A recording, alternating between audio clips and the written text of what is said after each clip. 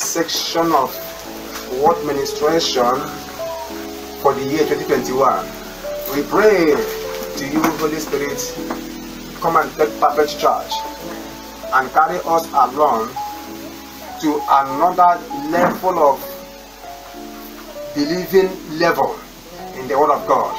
In the name of Jesus. Amen. Help us, strengthen us with better understanding heart. Strengthen us to be very focused on what the Spirit is about communicating to our souls. In the name of Jesus. Amen. Thank you, Father. Thank you. Blessed be your holy name. In Jesus' mighty name we are praying. Amen. Somebody shout out Amen. Amen. So without wasting much of our time, the topic of my message this hour says God's proper caring. God's proper caring. God's caring differs from that of humanity. What I mean in effect is that the way God take action for proper caring to our lives differs from the way ordinary men do their own. So, God is our shepherd.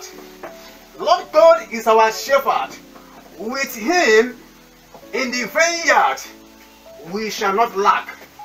That is why we must always see the need of recognizing Him, see Him as as a hundred percent reliable God for caring. So we need to pay close attention to know where God is leading us. God's proper caring occurs as a result of love and His kindness.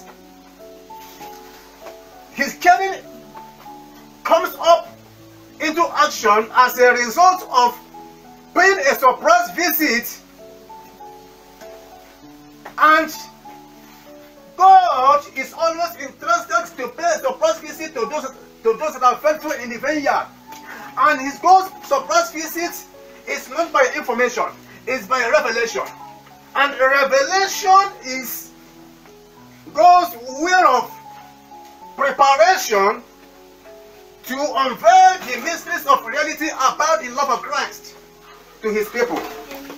Praise the Lord. Hallelujah. Praise the Lord. Hallelujah. So, God's proper caring is a season God determines to show mercy to his chosen ones who by faith accept to be partakers of Christ's suffering.